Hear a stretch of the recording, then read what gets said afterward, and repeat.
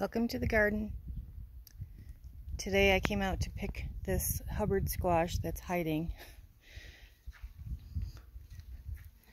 He's pretty big. These are giant, giant leaves that seem to catch all of the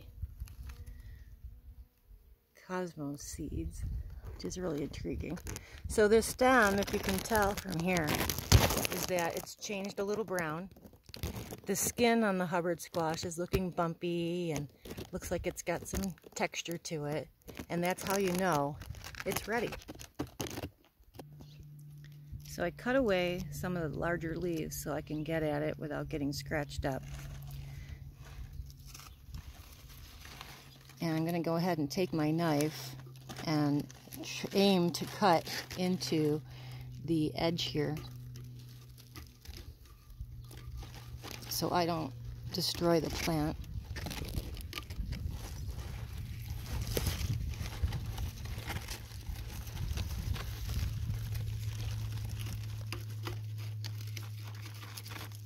And any subsequent squashes that may follow after this one. Wow, he's a big one. He's rolling now. Check out this beauty. I can't wait to weigh him.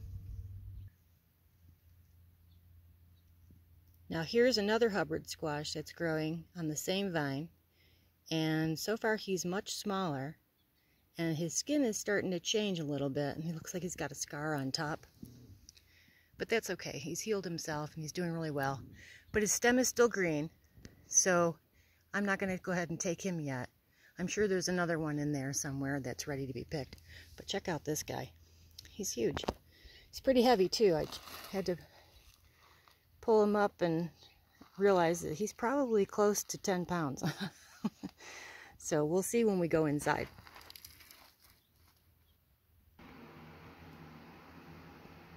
So I have my handy kitchen scale here. I've turned it on and I chose the unit for pounds. Let's just take this big guy and see.